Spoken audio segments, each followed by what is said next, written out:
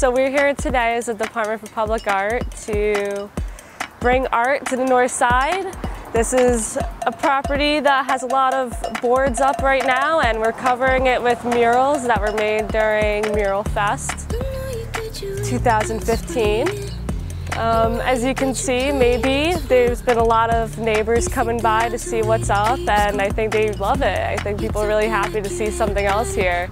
Someone uh, actually was walking by and said, you gotta love the art. So I'm happy that there's approval from the neighbors because that's what's really important. Yeah, so um, what's interesting about this project, um, not only is this a blighted property, which we unfortunately see um, some of in Binghamton, but this area in particular, the north side of Binghamton, is considered a food desert. And there's been a lot of effort into putting a supermarket around here, um, but there hasn't been any success yet. So um, not only are we bringing attention to blighted properties, but we're hoping that this can um, bring the idea of fresh food and produce to the area as well. Future projects. So we already started a couple places. This is one.